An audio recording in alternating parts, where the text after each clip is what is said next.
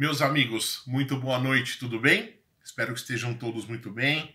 Espero que estejam curtindo aí os vídeos. A gente vem aí num, num esforço crescente para que os vídeos sejam cada vez mais interessantes. Claro, não obstante todo esse fato de pandemia, da gente aqui em casa estar tá tomando muito cuidado para sair na rua, mas teremos vídeos externos além desses vídeos externos, desses vídeos, perdão, internos, vídeos de mesa, né, como a gente costuma dizer e hoje, para quebrar um pouco o gelo, a gente veio para o sofá, para o divã, porque é um assunto muito interessante, né?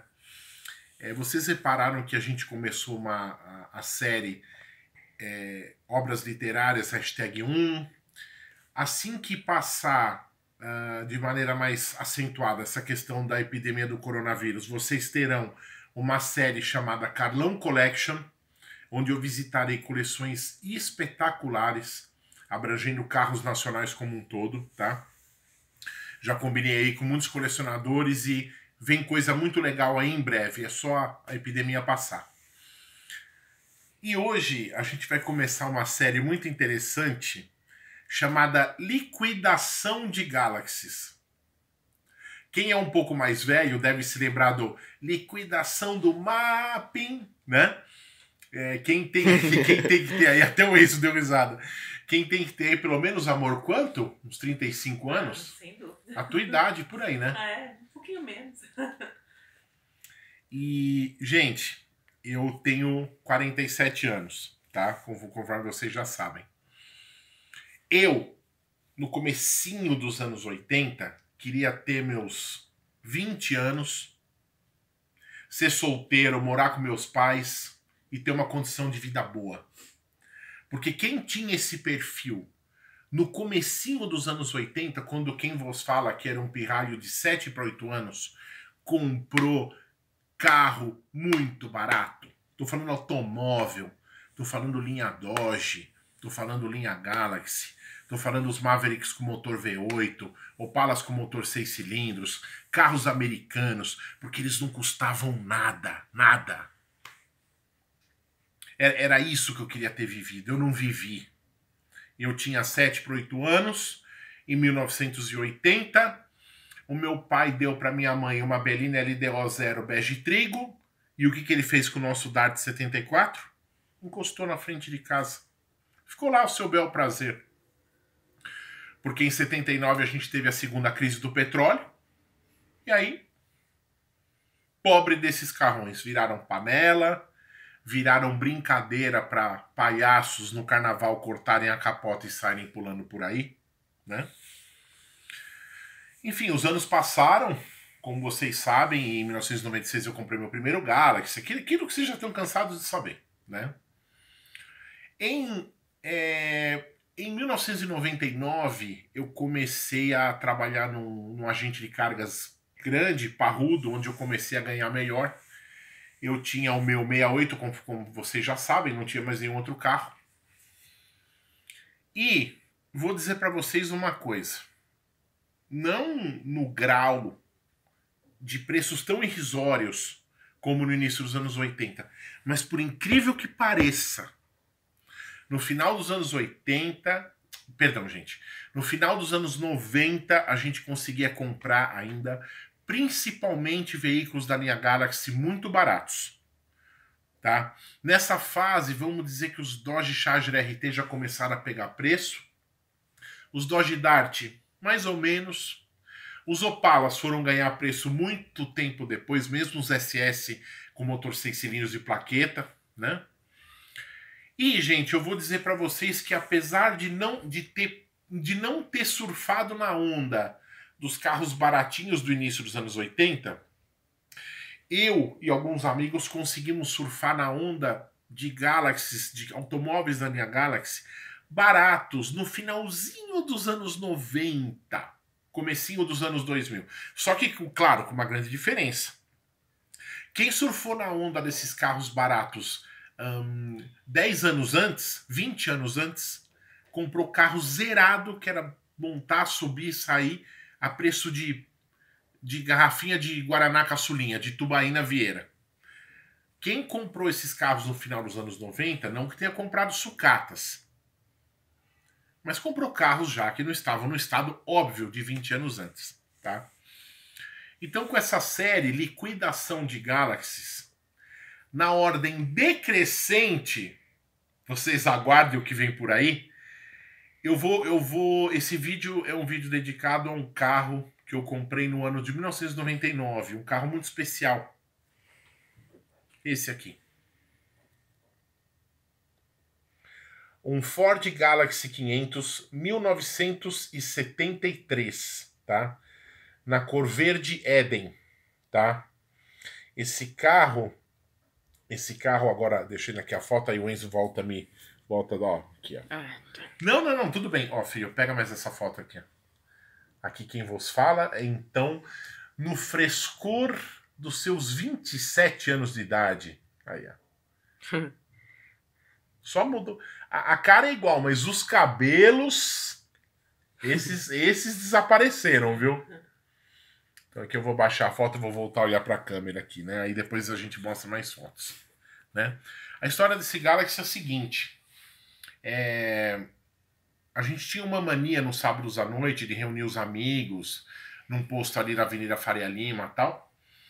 E a gente, nessa época, tinha uma mania infernal de sair com o carro, entrar em túneis e ficar ligando e desligando para o carro fazer aqueles. Um, pá!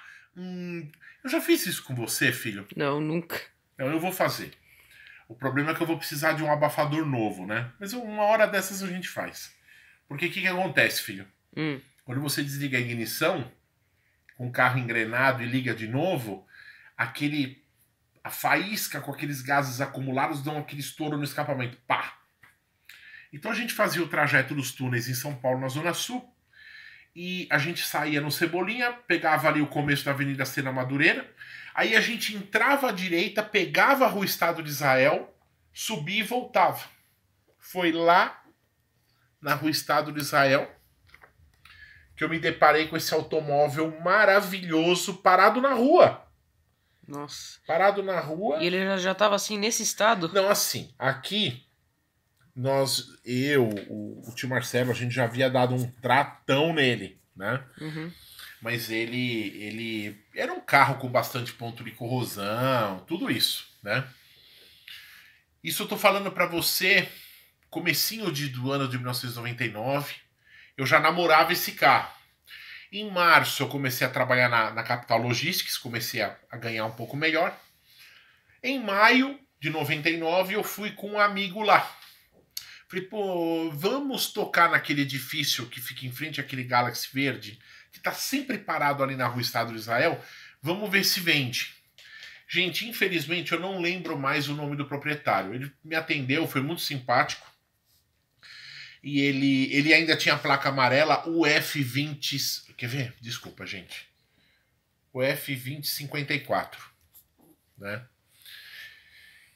E eu fui até o edifício, o porteiro falou quem era o dono do carro, ele não pôde me atender na primeira noite. Depois voltei um outro dia, e aí sim ele pôde me atender. E eu negociei o carro com ele. Paguei módicos 500 reais nesse carro. E olha que a série Liquidação de Galaxy, esse é só o hashtag 1. Episódio 1. Episódio 1. Nós vamos avançar. Até onde esses valores vão parar, vocês não vão acreditar. Mas eu vou espaçar os episódios para você falar, pô, só falta você, Carlão, você ter ganho um Galaxy de presente. Quase. Quase. Eu comprei o carro só que, claro, nem tudo são flores, tá? O carro estava com o motor parcialmente desmontado no porta-malas. Ele não era um Galaxy Corvair, pessoal. Vamos ter calma. Mas acontece que o filho dele foi sair com ele um dia e o carro aqueceu, não sei como, porque esses motores Y-Block não, não esquentam, não fervem. Eu tenho o Galaxy com esses motores há 24 anos e nunca tive problema com nenhum deles. Mesmo com os meus 302, tá? A gente brinca, a gente fala, ah, 302 e tal. Mas eu tive três Galaxies com motor 302, dois LTD e um Landau, e eles nunca ferveram, né? Mas enfim, deixaram o carro aquecer. Mas mesmo assim, para 1999, um carro documentado, numa cor linda. O interior desse carro era novinho. E na época ele estava montado em quatro pneus Grand Prix S muito bons. Foi o, putz, o achado do, do século, né? Aí eu aproveitei que o dono desse Galaxy tinha aquele serviço do Auto Tour, ah, um serviço de guincho, se eu não me engano. E esse carro foi levado, eu vou mostrar para vocês aqui. Esse carro foi levado para o sítio do avô de um grande amigo meu, do Marcelo, em Suzano, tá? Aqui vocês estão vendo as fotos, tem, inclusive tem até o dia. Eu, foi engraçado porque foi o dia dos namorados, pode ver aí, 12 de junho de 99. Né? Sim. Nós levamos esse carro para o sítio do Marcelo em Suzano. Não quis levar ele para casa, deveria ter levado, mas não. Mas ele ficou super bem guardado lá no, no sítio em Suzano. Nós colocamos ele sob cavalete, cobrimos, até eu de fato pensar no. Até eu de fato pensar no que fazer com ele. Tá? Esse carro é, aconteceu algo muito engraçado com ele. Você, não sei se vocês conseguem ver pela foto. O capô. Saúde, filho. O capô dele tava amassado. Hum. Era por aqui. Ah, sim, aqui. Tá vendo, filho? Dá. E olha, gente, aconteceu um negócio com esse carro que poderia ter sido um acidente horroroso. O proprietário dele relatou para mim que ele foi a Santos e o capô abriu. O capô abriu, amor, você acredita? O capô abriu, o capô ricocheteou pau no, no, no, no vidro, no friso ali do para-brisa e quebrou. Quebrou o para-brisa, o para-brisa foi trocado e o capô ficou amassado, o capô mal fechava, o que era uma pena, porque tinha pintura original. Na, na pontinha da foto aqui, vocês veem aqui na a pontinha do meu Santana GLS 93 Azul Infinito. Nossa, curti muito esse carro. muita saudade dele. Então deixa eu pegar aqui. Aqui, ó. Pessoal pode dizer que eu nunca tinha andado no carro, né? Essa foto foi tirada de cima do barranco. Eu no volante dele, o Marcelo e outros amigos aí empurrando ele para dizer: Não, porra, Calão, pra não dizer que você nunca dirigiu o carro, pô. Né? E aí era a casa, a casa, a casa do sítio, né? E atrás, vocês vão notar, atrás do Louva a Deus, que esse era o apelido que eu dei para esse Galaxy devido à cor, vocês veem aí um LTD Landau 75, que o meu amigo Marcelo comprou de uma outra pessoa, de um, de um negociante de peças de carros antigos, do grande e carismático Salim, simpaticíssima pessoa, né?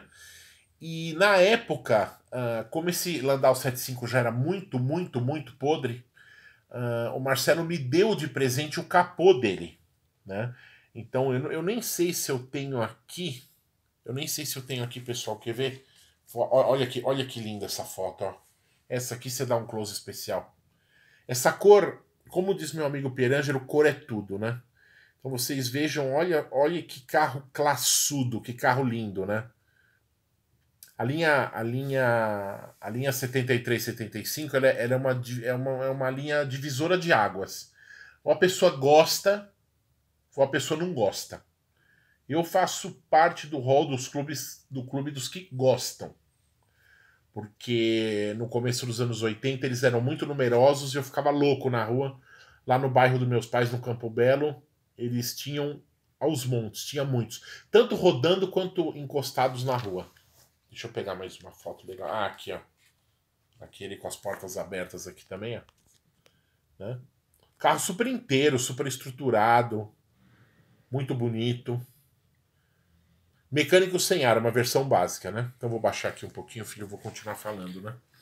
E aí, o que, que aconteceu? Esse carro ficou uns três meses. Esse carro ficou uns três meses no, lá no sítio. E aí, mais pro final do ano, nós fomos numa turma lá pro sítio. O Marcelo convidou uma turma grande de amigos nossos. E esteve lá também um amigo, o, uma pessoa que é minha amiga até hoje, um cara muito querido, o Fernando Galante, que é louco por esses carros. E o Fernando olhou o carro, tinha pintado um negócio novo para mim, que eu não vou falar o que foi na época, porque isso vai ser tema de um outro vídeo, senão mato um novo vídeo. E aí vocês vão me matar. Eu adoro deixar vocês curiosos esperando. E eu acabei, devido a, a esse negócio em vista, vendendo louva-a-Deus para ele. Eu vendi o louva-a-Deus para o Fernando por 900 reais, tá? Eu, com isso, esse carro foi novamente, ele retornou a São Paulo. O Fernando fez uma reforma nele. O Fernando arrumou, o Fernando acabou retificando o motor dele. Eu sei que ele vai assistir esse vídeo, eu vou falar agora aqui algo na câmera da verdade. Ele só fez uma coisa que eu não gostei muito. Ele colocou teto de vinil. Mas o que, que aconteceu? Na época, esse carro, como ele ficou parado muito tempo ali na rua Estado de Israel, caíram é, pinhas grandes de uma árvore e tal, e o teto ficou todo amassadinho. E na época o Fernando falou para mim, Carlão, o funileiro, enfim, não conseguiu tirar os amassados. Então, para disfarçar, ele colocou o teto de vinil. Mas ficou muito bem colocado. Ficou muito bem colocado. Né? E ele acabou ganhando esse teto de vinil. O carro tinha assoalho de. Não tinha podre no assoalho, assoalho de porta-mala bom, né? E o Fernando curtiu esse carro por um tempo e depois ele vendeu. Ele precisou vender acabou investindo num novo negócio, numa empresa própria dele e acabou vendendo um carro. Eu vi esse carro a última vez naquele primeiro grande encontro de Galaxies de 2010. Né? A placa, eu só lembro as iniciais da placa dele, CTS. E sei que ele está numa cidade do interior de São Paulo. Né? Foi aí então a última notícia que eu tive do meu Deixa eu ver se não faltou nenhuma foto. Então você não lembra da placa dele, pai? Não, da, da, eu lembro da placa amarela que ele tinha, hum. né? Mas não lembro do. do... Aqui. Deixa eu não terminar numa foto legal. Mas não lembro da placa cinza. Eu lembro só do, das letras, filho. Era inicial CTS. Então, pessoal, a hashtag 1 tá aqui. Acho que nós vamos até a hashtag 5, liquidação de Galaxy, né? Vem muita história aí. É, eu fico feliz porque, com a minha atitude, eu salvei esse carro. Esse carro está vivo, tá? Há não muito tempo atrás, eu, eu claro, o Cinef Cidadão não, não prova efetivamente nada. Mas quando eu vi esse carro a última vez, há uns oito anos atrás, ele estava bem inteirinho. Aparentemente com um colecionador aí do interior de São Paulo e o carro está vivo. Se eu não tivesse adquirido esse carro quando ele estava lá tristinho, parado na rua Estado de Israel, o que teria sido dele, né? Então, pessoal, espero que vocês gostem aí de mais essa história. Deixem o like, compartilhem e se inscrevam no Carlão Channel. Muita história gostosa vem por aí.